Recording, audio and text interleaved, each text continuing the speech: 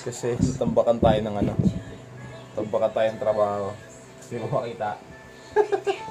tambakan tayo ng trabaho. Ayan. Tapos ito, hamok din naman ito. Tapos ito, hamok din. Ayun, hamok. Puro hamok yung tatlo na yan. Tapos ito yung hamok. Kasi project yun eh. Pito yung gagawin ko noon, pito. Natatapos. Hindi mo natatapos. So yan, tara. Simulan natin ulit. Mag, ano tayo, maglagay tayo ng tali ng duyan.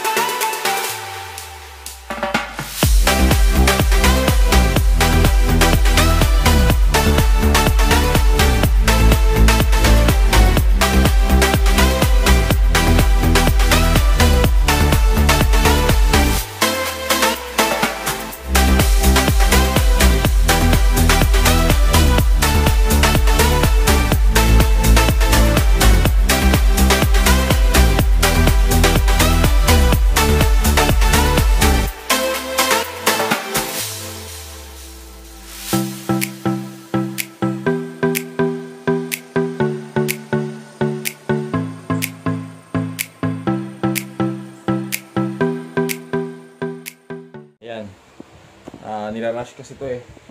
Ah! Bali, ayan. Ito, mga rebranding to. Ayan, nalang logo. 17 yan, papuntang Kalinga. So, yan.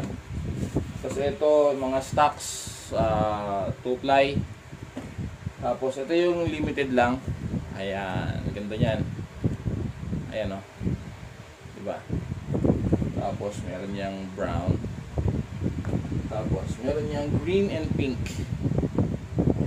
Tapos yung dalawa, ah ito, king size to. Ito, 12 by 10 na tarp. Yan, meron may-ari niyan. Ito, ah itong tatlo, limited lang to. Konti lang to, konting-konti lang to. So, yan. Tapos, ah, tapos, meron pa tayong natitirang daisy chain. Anim to. Anim na piraso lang yan. Ah, tatlong army green, dalawang gray, isang yellow. So, yun lang. So, tapos yun, ah, pito yun, tatlo pa lang nagagawa ko. So, kailangan tapusin. Kasi kailangan na yan ngayong week magawa na yan. So, yun lang. Ah, sa mga gusto mag-rebrand, sa mga gusto mag-rebranding ng Duyan, ah, open po kami. Mag-message lang po kayo sa aming page. Tapos, ah, pag-usapan natin. So, ito, papunta lang Kalinga, kila Brother Vincent. So, yan. Brother, papunta na sa iyo yung Duyan. So, maraming salamat. Peace. Good night.